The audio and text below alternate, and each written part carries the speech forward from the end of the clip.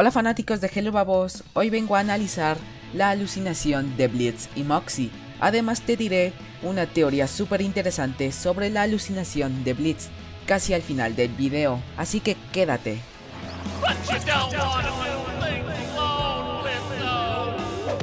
Bueno, como saben, la alucinación de Blitz y Moxie empieza después de que el agente 1 y el agente 2 activaran el gas de la verdad y descubriéramos que a Moxie le encanta que le pegue Millie. Okay, uh, does Millie ever peg you? Sometimes. Lo que ocasiona que Blitz y Moxie se peleen hasta que Blitz insulta a Moxie diciendo que sus gustos musicales son una mierda. You have shitty taste in music! I'm sorry! Shit taste. Pero si quieres un resumen y análisis más detallado del episodio 6, ve a ver este video. Continuando, después de insultarse mutuamente, Moxie y Blitz empiezan a ilusionar. Moxie ilusiona con una ópera donde se encuentra Blitz tocando el piano y parece ser que Moxie es consciente de que se encuentra en una ilusión. Y por esta frase que dice en su canción, This is just typical. Well, two can play at this game of dismay, if you're here causing frustration, I'm torturing you in your hallucination. podemos confirmar que Moxie era consciente de su alucinación. Al contrario de Blitz, quien parece ser que realmente se siente atormentado por su alucinación. Y si se preguntan por qué Blitz ve a Moxie como un dibujito, es porque Blitz ve a sus amigos en una versión minimizada de lo que realmente son. O sea que Blitz nunca se los toma en serio, aunque en ocasiones parece ser que Blitz toma en serio a Moxie. Y volvemos nuevamente con Moxie, quien le dice varias cosas a Blitz, como que siempre arruina todo por su toxicidad, por su crueldad y por su desconsideración, y que si continúa así terminará completamente solo.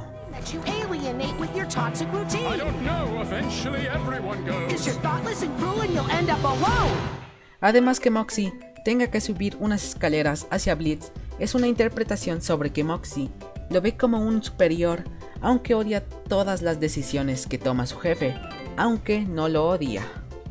Blitz en su alucinación sigue siendo atormentado por Moxie y otros antagonistas como Striker, Robo Fizaroli y Verósica.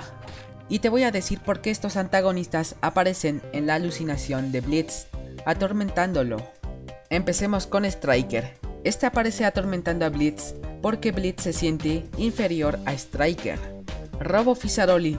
Este aparece porque despidió a Blitz de su trabajo en el circo, además que siempre lo humillaba.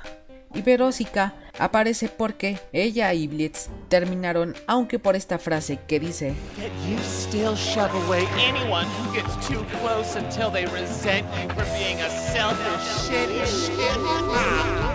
Podemos ver que Verósica quería y intentó ayudar a Blitz, pero este por su egoísmo terminó apuñalándola por la espalda, traicionándola, haciéndola sufrir y rompiendo su corazón.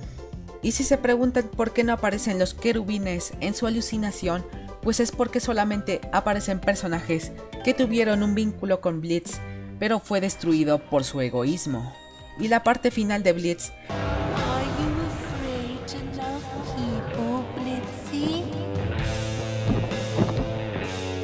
Viendo unas escaleras hacia Stolas es una forma de escapar de sus temores y sentirse seguro, aunque no es más que un esclavo de Stolas, cumpliendo las órdenes más enfermas de su dueño, y por eso cuando está subiendo aparecen cadenas en sus manos. Además, por estas dos siluetas que se encuentran al lado de Stolas, podemos confirmar que sí, Blitz se siente seguro con Stolas, pero a cambio tiene que seguir sus órdenes. Y no importa por dónde vea su vida Blitz, porque siempre verá todo como si estuviera en contra suya.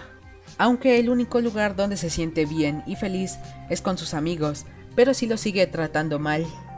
Como en el caso de Moxie, se terminan cansando y terminan abandonándolo como todos los demás, hasta Moxie le dice esto a Blitz. such as myself. Are you worried I may have enough of it one day as well? Después de que desaparezca todo en la alucinación de Blitz, volvemos con la canción de Moxie y parece ser que Blitz y Moxie terminaron haciendo las paces prometiendo ser mejores personas y amigos. Ahora vamos al siguiente punto del video.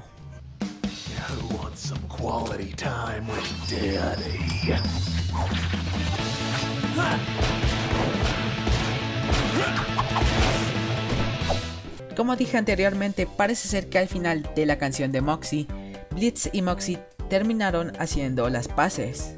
Y cuando están hablando podemos ver que Blitz le hace bullying a Moxie porque cree que él es bueno matando gente y es capaz de todo.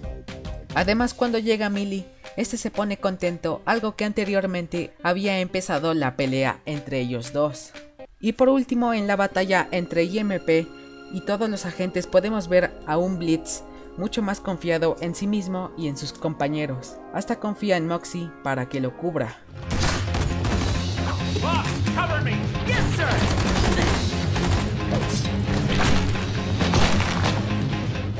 Algo que no hubiera hecho en anteriores episodios, como por ejemplo en el episodio 1. Hold on, hold on. Let's just think about What the fuck was that, Moxie? Mama's kids, get the fuck over yourself, you baby dick prick! Y con todo lo que te he dicho, posiblemente Blitz intente ser una mejor persona y tratar mejor a sus amigos para que siempre estén con él. Y será interesante ver cómo continuará Blitz con esta nueva personalidad, aunque vamos a la parte final de esta teoría. I will be a better friend than I was before. Be better at speaking my mind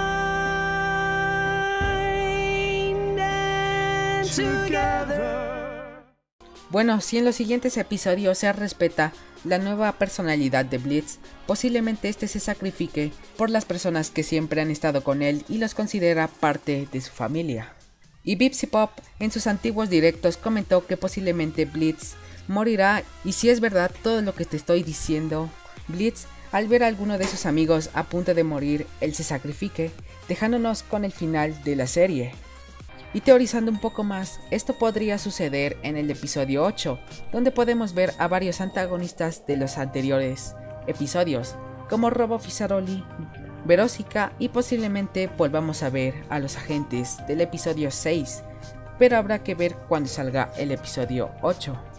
Suscríbete si te gusta el video y aquí te dejo más videos de tu agrado y un saludo para Bill, Herbitzi, Cairo, Deeper Dubs, Towner y para Tanjiro. Ahora sí, adiós.